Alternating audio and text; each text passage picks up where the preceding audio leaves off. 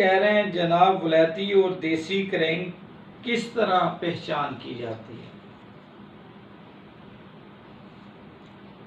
भाई, मेरे crank shaft सबसे पहले आपको क्रैंक शाफ्ट का ये पता होना चाहिए कि क्रैंक शाफ्ट में मटेरियल कौन से होते हैं। नंबर वन कि क्रैंक शाफ्ट देगी कौन सी है? कि क्रैंक शाफ्ट कास्ट आयरन की कौन सी है? यानी कि देग की कौन सी है? एस आयरन की कौन सी है? और स्टील की कौन सी है? दो क्रैंक शाफ्टों में फ़र्क। यानी कि cast iron S D iron या कॉस्ट आयरन आप गिन लें। और दूसरी फोर्जिंग ये दो फ़र्क आपको पता होना चाहिए। पहले, सबसे पहली पहचान। फिर जब आप फोर्जिंग में आएँगे तो फोर्जिंग में फिर आपकी तीन टाइप्स आ जाएँगी। कि आपकी जो क्रैंक शाफ्ट है वो कौन कास्टिंग है? वो सी के फोर्टी फाइव है, यहाँ के crankshaft E N nineteen grade है या कि ई एन फिफ्टी टू है। ये सारी चीज़ें जो होती हैं तो आपको क्रैंक को एक हथौड़े की मदद से हल्की सी चोट लगा के आप चेक कर सकते हैं कि इसमें मटेरियल कौन सा है। कास्ट आयरन का है। कास्ट आयरन और फोर्जिंग क्रैंक।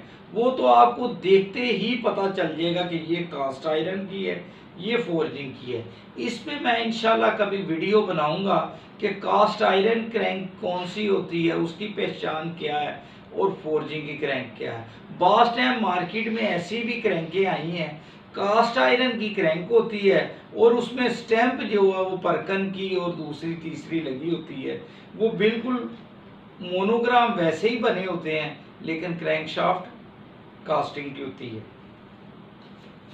इसमें आपको क्रैंक का पूरा एक्सपीरियंस, उसका तजर्बा हो, मटेरियल का तजर्बा हो, क्रैंक की फिनिशिंग का तजर्बा हो तो फिर आप ये सारी चीज़ें चेक कर सकते हैं कि क्रैंक का मटेरियल कौन सा है। उसकी आवाज़ से, उसकी फिनिशिंग से, उसकी टर्निंग से, ये सारी चीज़ें देखनी पड़ती हैं। ये सारी चीज़ें आपको जब देखनी आ जाएँगी तो फिर आप बाखूबी अंदाज़ा लगा लेंगे कि ये क्रैंक जो है, ये इम्पोर्टेड है, वलैती है और ये देसी है।